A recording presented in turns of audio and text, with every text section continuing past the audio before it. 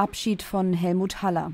Im Beisein der deutschen Fußballprominenz um Uwe Seeler, Franz Beckenbauer und DFB-Präsident Wolfgang Niersbach ist der frühere Nationalstürmer in Augsburg beigesetzt worden.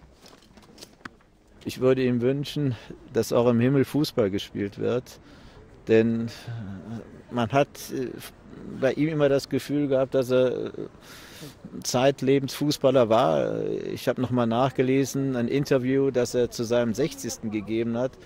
Da sagt der Mensch, ich habe jetzt endlich äh, die Folgen meiner Hüftoperation überwunden, ich kann wieder Fußball spielen. Für ihn war das Leben ein großes Fußballfeld. Rund 1000 Trauergäste kamen zur Beerdigung. Auch Vertreter von Hallas ehemaligen Vereinen FC Augsburg, Juventus Turin und FC Bologna.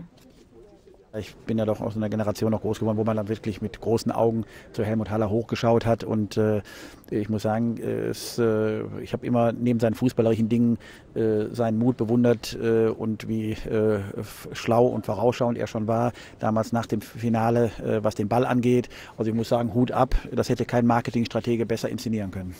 Denn Helmut Haller behielt damals den Finalball und gab ihn erst Jahre später zurück.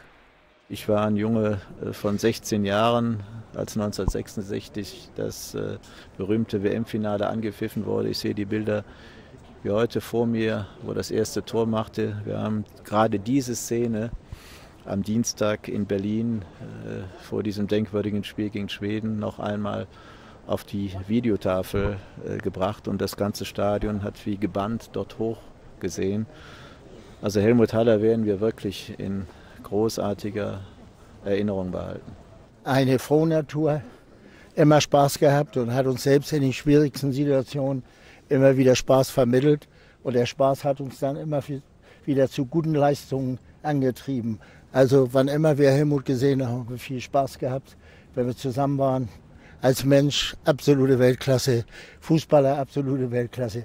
Mehr kann man nicht sagen. Nach zahlreichen gesundheitlichen Rückschlägen war Haller am 11. Oktober im Kreise seiner Familie verstorben